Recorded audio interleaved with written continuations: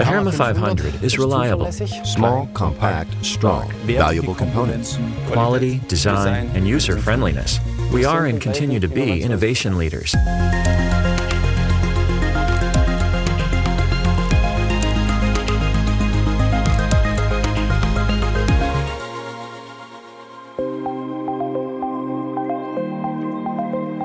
Industry 4.0 is an important concept in our business. The requirements are becoming ever greater, which was part of the reason why we developed the Herma 500. Our customers come from different industries and serve different markets.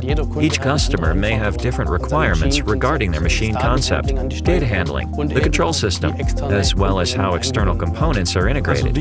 One of the most important issues in the development of the Herma 500 was connectivity, because we wanted to make sure that the devices would be able to communicate on all levels. I'm proud of the fact that we can offer a solution for every data exchange problem. Our non-real-time interface is the Ethernet port X5. This is always built right into the unit and serves as a service interface for external visualization purposes. There is also an option to enable an OPC UA server or a Modbus TCP client internally. For a real-time interface, we have the Herma 500 in the industrial Ethernet version, which is equipped with two additional industrial Ethernet ports.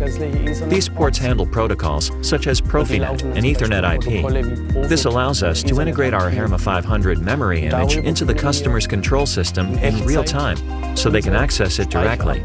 One of the greatest challenges with respect to Industry 4.0 is data security. What happens to my data? Who has sovereignty over the data? This is why Herma dispensed with wireless interfaces. All data to or from the Herma 500 travels via cable. If a customer objects to this, they can simply unplug the cable or monitor their data using an alternative method. I could safely say that we offer a solution for every interface requirement.